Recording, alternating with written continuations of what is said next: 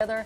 Here's meteorologist Kweilyn Murphy. Got a lot on her plate today. Good morning, Kweilyn. Good morning, Barbara and John, and welcome back. Barbara Fiona really showing how much intense it was able to get once it encountered those waters again, cranking up to Cat 3 status as of the 2 o'clock advisory this morning, thanks to data from the hurricane hunters that flew in. Max winds at 115 miles per hour. What you're looking at now is the 5 o'clock advisory. No big changes. Those max winds still sustained at 115, but the gusts have now pushed up to 140. They were at 130 before. It's moving north northwest at 10. That center is just east of Grand Turk Island this morning, but you can see this is a rather large system, so we're still seeing impacts all the way back to Puerto Rico, still over the Dominican Republic. And of course, that rain and storm action will continue to build over the southwestern uh, Atlantic waters. Cat 3 right now, it's forecast to become a Cat 4 by late tonight into Wednesday morning and still be a Cat 4 as it nears Bermuda into early Friday morning. Max winds 130 miles per hour. It will start to weaken as it pulls away from Bermuda, but still now a Cat 2 on Saturday morning at 105 miles per hour.